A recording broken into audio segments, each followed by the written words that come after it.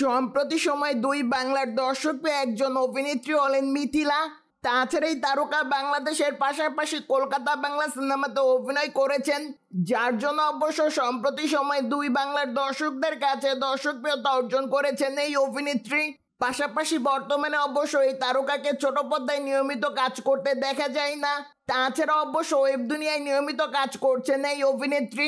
এছাড়া অবশ্য বড় পর্দায় নিয়মিত কাজ করতে দেখা যাচ্ছে মিথিলাকে। প্রসঙ্গত মিথিলা প্রায়শই সোশ্যাল মিডিয়ায় বিতর্কের শিকার হন, যার জন্য অবশ্য দর্শকরা প্রায়শই তাকে নিয়ে কুরুচিদায়ক মন্তব্য করেন। পাশাপাশি অবশ্যই তারকা বর্তমানে সে সকল মন্তব্য নিয়ে তেমন কোনো চিন্তা ভাবনা করেন না। যার জন্য অবশ্য সম্প্রতি সময় বিতর্ক প্রসঙ্গে মিথিলা বলেছেন, যারা তাকে নিয়ে ট্রল করেন তারা আসলে তাকে ব্যক্তিগতভাবে চিনে না।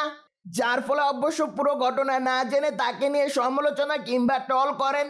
পাশাপাশি এই তারকা আরও বলেছেন, যারা তাকে নিয়ে মন গড়া গল্প সাজান কিংবা ট্রল করেন তারা অবশ্য মানুষ কিংবা রোবট, সেটি অবশ্য জানা নেই এই তারকার।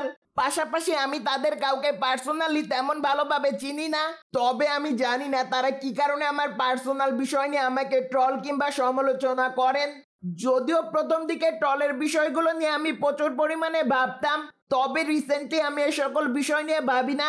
কেননা আমি এইটুকু বুঝতে পেরেছি, যারা সমালোচনা কিংবা টল করছেন, তারা অবশ্য সম্পূর্ণ সত্য ঘটনা জানেন না। প্রসঙ্গত, সম্প্রতি সময় মিথিলার হাতে বেশ কয়েকটি কাজ আছে, তাছাড়াই তারকা সে সকল কাজ নিয়ে ব্যস্ত সময় পার করছেন।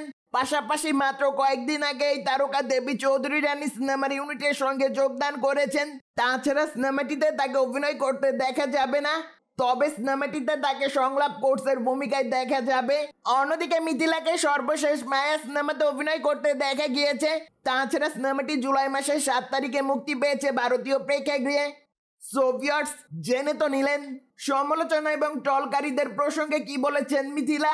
তাছাড়া এই বিষয়টি নিয়ে যদি আপনাদের কোনো মতামত থাকে, তাহলে অবশ্যই আমাদের কমেন্ট বক্সে জানাতে ভুলবেন না and subscribe our channel for more update